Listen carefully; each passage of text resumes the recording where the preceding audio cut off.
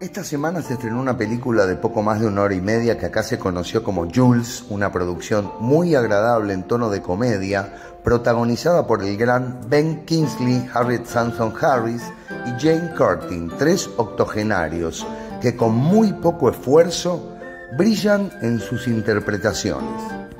El argumento es simple y absurdo. Un anciano solitario de un pueblo pequeño ve conmocionada su vida cuando una nave extraterrestre se estrella en su jardín y tiene que hospedar y ayudar al alienígena que vino desde otra galaxia. Te juro que ver esa criatura te va a dejar absordo y te va a hipnotizar. Esto que en principio se entiende como ciencia ficción es un símbolo muy fuerte, ya que nos muestra desde lo absurdo qué difícil puede ser la vejez cuando nadie te escucha y pareces invisible, o peor, cuando todos creen que estás gaga y te critican o no te prestan atención. El objetivo principal del film se logra con creces, ya que te hace pensar y reflexionar sobre cómo volvés a mirar la vejez en tu propio entorno.